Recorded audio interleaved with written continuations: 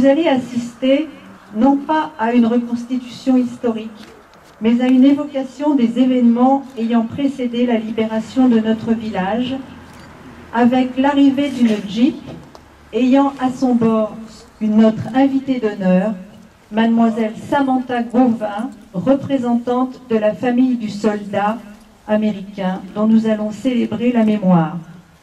Nous évoquerons les événements survenus le 3 septembre 1944 ce véhicule sera suivi ensuite de plusieurs autres, images de la journée du 4 septembre 1944.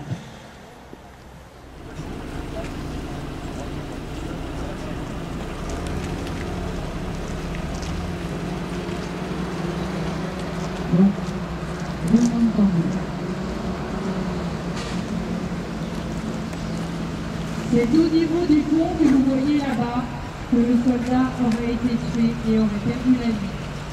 La vie en vol.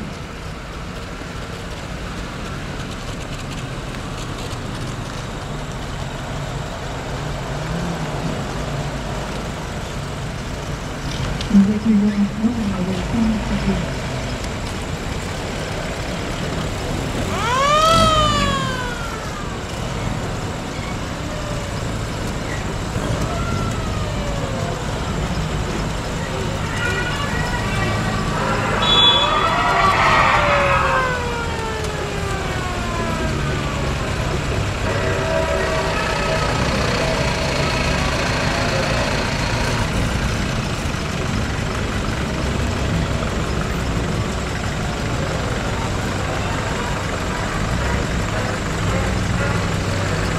Fanny représentant des gens de la cabane du maquis de Césaria. Il s'agit de Monsieur Lucien Festas.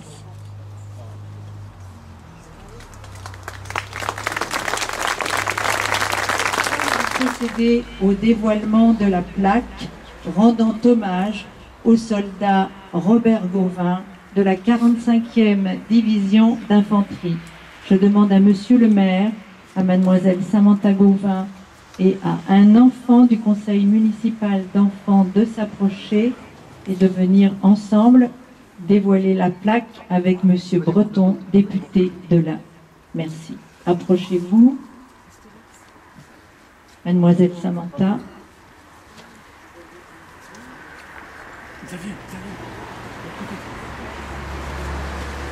Merci.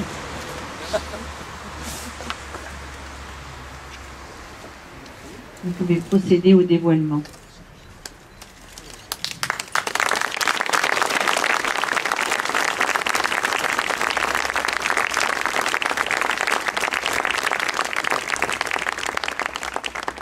À présent, mademoiselle Gauvin va également déposer une, une gerbe pardon, au nom du consulat américain qui a souhaité participer de cette façon à la cérémonie si vous voulez bien la déposer au pied du monument. Je vous remercie.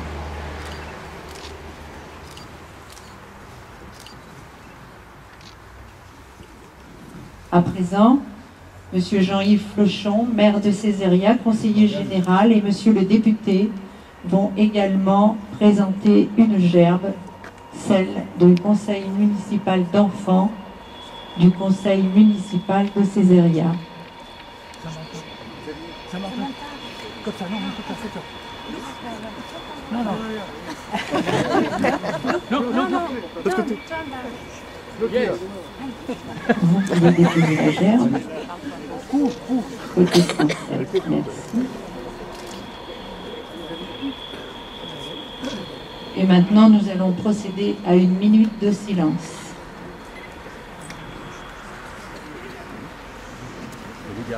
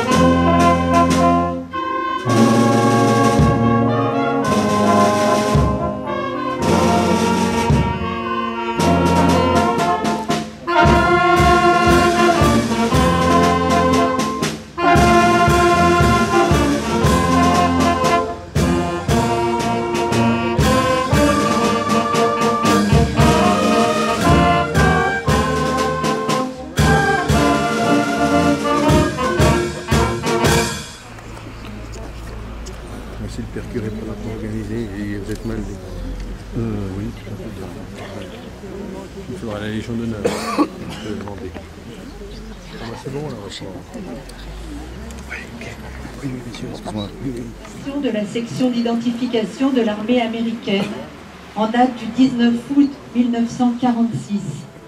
Le 3 septembre 1944, une patrouille de la 45e division de l'armée américaine arrive à l'entrée de Césaria sur la route de Nantua.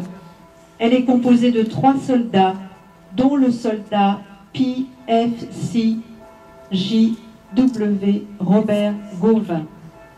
Au cours d'un combat avec des soldats allemands, le soldat Robert Gauvin fut l'un des trois hommes portés disparus ce jour et mortellement blessés. Les deux autres ont été faits prisonniers, puis libérés plus tard. Robert Gauvin, dit plus familièrement Bob Gauvin, participa avec son unité à l'invasion de la Tunisie, de la Sicile, de l'Italie, Salerne, Anzio, Monte Cassino et au débarquement de Provence en août 1944, puis à la traversée des Alpes par Sisteron, Grenoble et cela jusqu'à Césaria. Sa division continuera ensuite vers le nord-est de la France par Besançon et Belfort et pénétrera ensuite en Allemagne. Elle participera à la libération du camp d'extermination de Dachau. La 45e division d'infanterie américaine fut citée par le général de Gaulle à l'ordre de l'armée avec attribution de la croix de guerre avec palme. Le corps du soldat Robert Gauvin sera inhumé provisoirement dans le cimetière de Luynes, dans le sud de la France, ne portant sur lui aucune indication permettant de le reconnaître.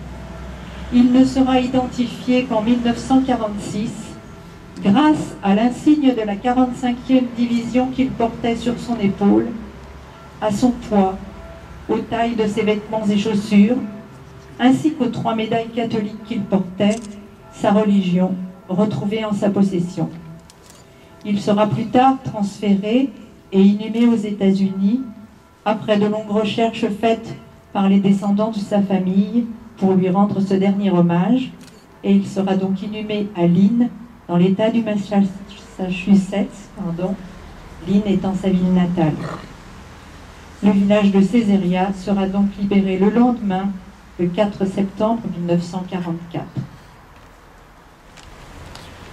Monsieur le député, messieurs les représentants du monde combattant, messieurs les représentants de la base aérienne d'Amberieu-en-Bugey, monsieur le commandant du commandement de gendarmerie et lieutenant euh, Babylon, monsieur le représentant, mesdames, messieurs, représentants du, corps enseignant, avec euh, les enfants qui sont aujourd'hui présents pour cette cérémonie, euh, chers amis du corps de sapeurs-pompiers, et, collègues du conseil municipal et conseil municipal d'enfants, mesdames, messieurs, j'allais oublier les, les membres de l'harmonie qui ont pourtant joué un, rôle important. Je crois que c'est la première fois euh, qu'ils ont interprété euh, l'hymne américain, qu'ils ont travaillé spécialement pour euh, cette cérémonie. Et, je crois qu'on peut vraiment vivement les, les en remercier.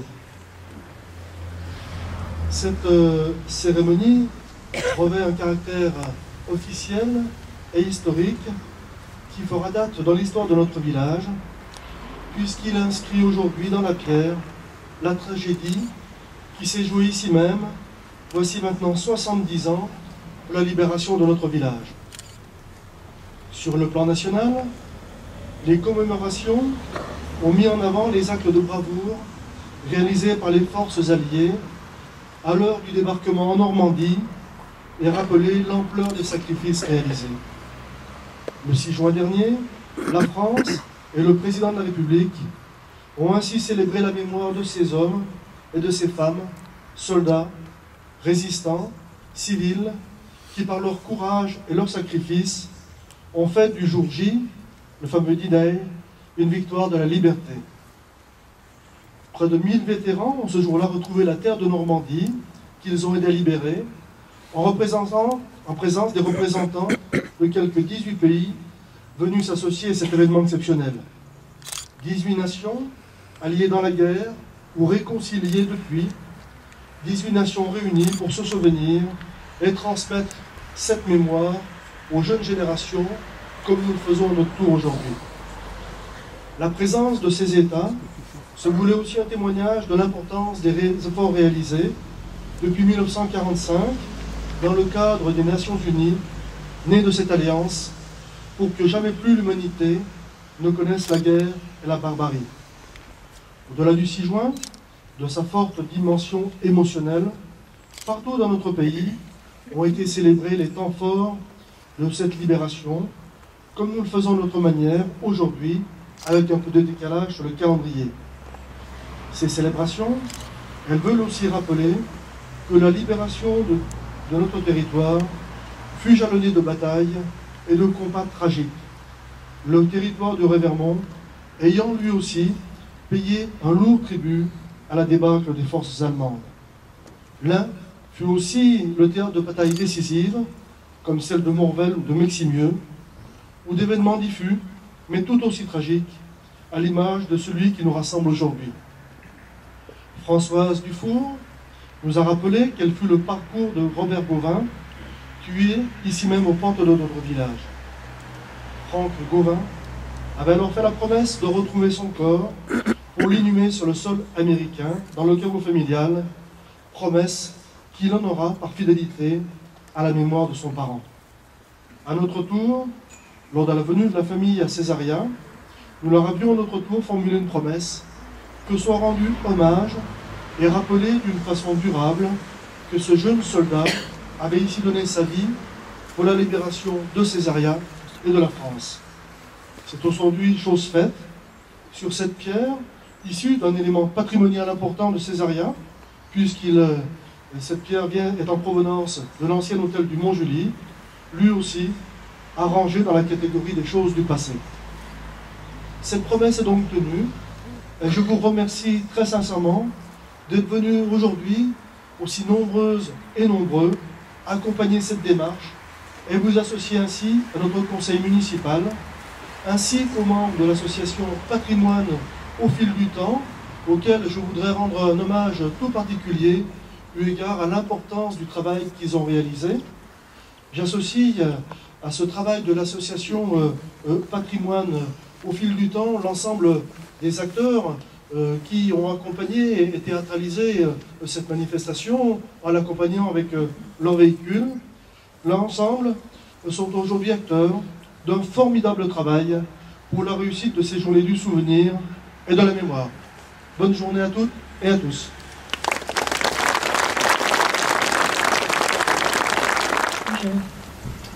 Euh, mon grand-père, mon père et euh, mes oncles ont visité Césariat euh, il y a deux ans.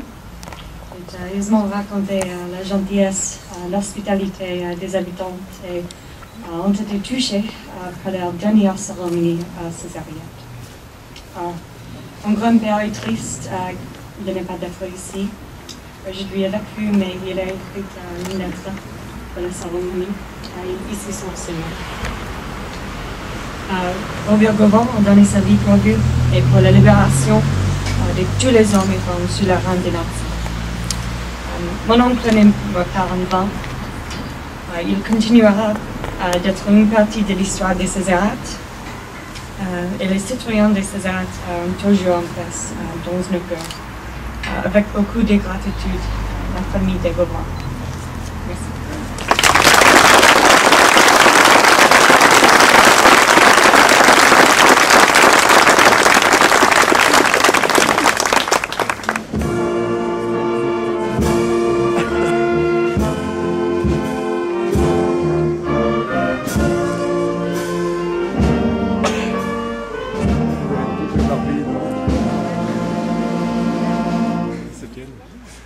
Romuald. Il arrive à se placer partout. Hein, dans les mariages, les enterrements, partout.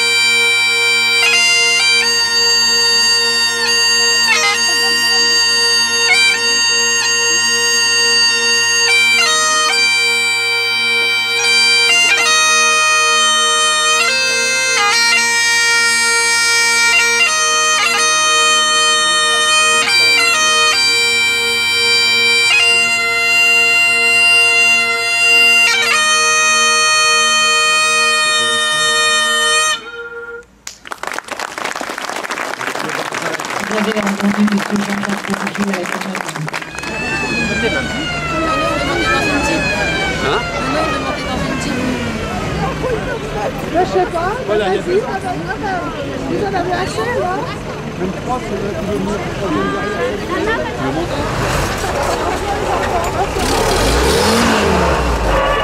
Là, ça irait encore, mais dans celle-là.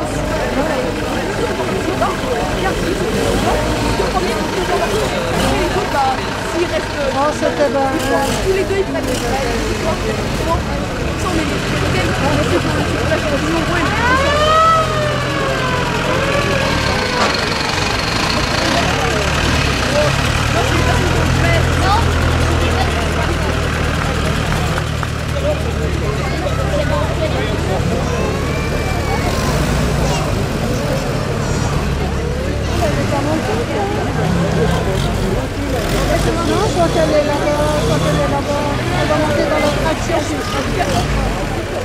facile.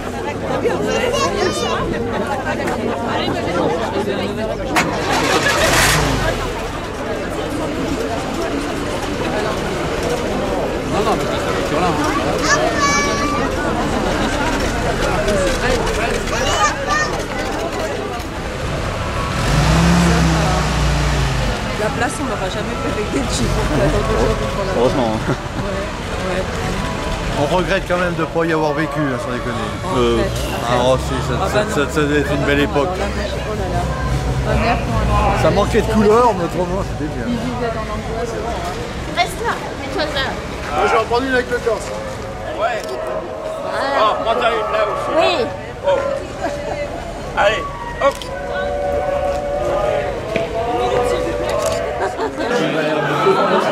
Romuald, je l'aime bien. Il est partout là. Qui Romuald. Ah oui. C'est la première fois de sa vie qu'il bosse.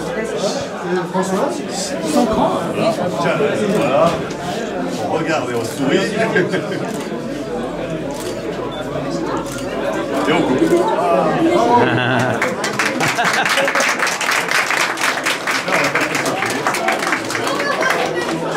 Xavier, il a l'habitude. Il sourit, il sourit. Enfin, là. C'est un métier, Xavier. C'est vrai qu'ils avaient lâché le côté. Des années de pratique. Oui, c'est pour ça. Que je. Alors ça, les, les enfants, ils aiment ça. Ah.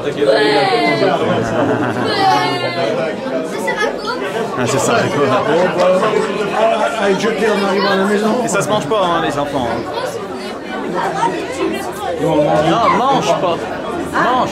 Il y a un gamin qui demande ça, ça à quoi Négation. Négation.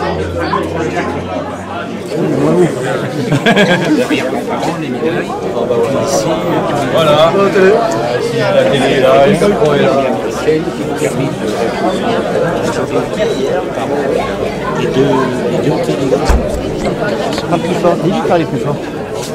Parle beaucoup plus fort parce que tout le monde voudrait en faire.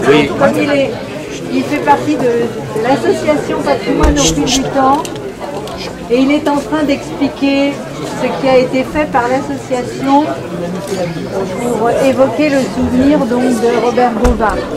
Donc ici, vous avez plusieurs éléments. Vous avez ici la lettre que euh, l'oncle, euh, non c'est votre, euh, votre grand-père a adressée, qui était destinée à l'ensemble des gens de Césaria. Il l'avait adressée en américain, bien entendu, puisque c'est sa langue habituelle. Et nous, nous l'avions traduite en français. Donc les gens peuvent maintenant lire ce qui nous était destiné. Ici, c'est une photo qui représente la famille lorsqu'elle était venue à Césaria pour voir à quel endroit euh, Robert Gauvin avait été tué. C'est une photo d'il y a deux ans. La lettre, c'est du père de celui qui a été tué, alors si je peux. Non, non, excusez-moi, c'est la lettre de l'oncle de celui qui a été tué. Vous cherchez la filiation de mademoiselle. Alors, mais, mais, alors attendez, euh, si vous me parlez du père de cette jeune, du grand-père de cette jeune fille, c'était l'oncle du soldat. Ici, nous avons retracé euh, la vie euh, de euh, Joseph Robert Gauvin. Donc, il est né le 15 mars 1920 à Lynn, dans l'État du Massachusetts, aux USA. Il a été incorporé le 19 janvier 1942. Il a débarqué en Provence le 15 août 1944. Donc il était à Sainte-Maxime. Il était donc engagé volontaire, il n'avait que 18 ans. Il est arrivé à Césaria et il a été tué au combat le 3 septembre 1944 à Césaria. Il n'avait donc que 24 ans. Voilà. Donc ici vous avez le nom de ses parents que vous voyez en photo ici puisqu'il a été photographié avec eux. Quelques, quelques jours avant son départ, d'après ce qu'on nous a dit, avant son départ. euh, Parle fort pour que les gens entendent. quelques jours avant le départ euh, de sa division pour, euh, pour l'Afrique du Nord. Donc ici vous avez le nom du papa, Georges, et le nom de la maman, Maude Dubois. Voilà, ici vous avez les références militaires. 180e euh, régiment d'infanterie de la 45e division américaine.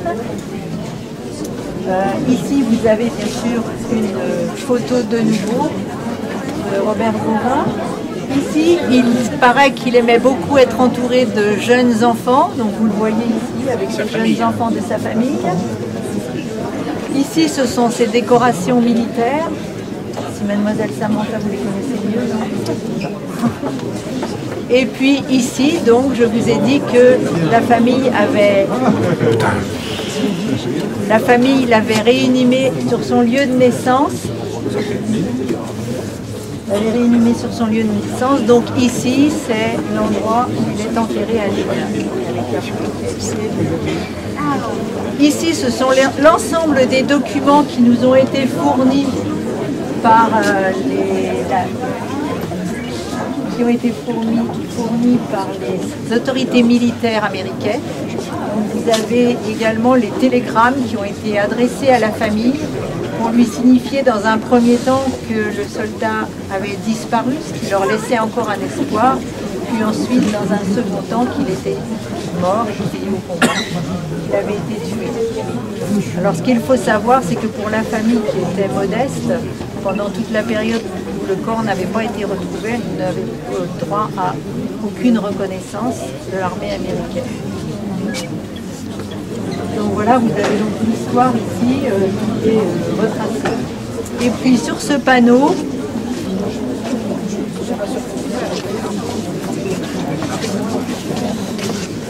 sur ce panneau, c'est euh, la 45e division américaine dont on a retracé le parcours. Donc avec les différentes étapes, je vous laisserai vous approcher, la Sicile, le débarquement euh, en Normandie, le débarquement au sud de la Provence, et puis ensuite le chemin qui a été suivi pour arriver jusqu'à Césaria, puis encore euh, jusqu'à Dachau. jusqu'en Allemagne, jusqu'à Dachau. Euh, je pense que ce sont eux qui ont libéré le camp de Dachau. Donc voilà. Ensuite, dans l'exposition, vous avez deux parties. Vous avez une partie qui est très importante et qui est faite par un collectionneur. Je ne sais pas s'il est présent dans la salle. Il est là. Monsieur Zagonel. Alors il est déjà en train de donner des explications. C'est le monsieur qui se trouve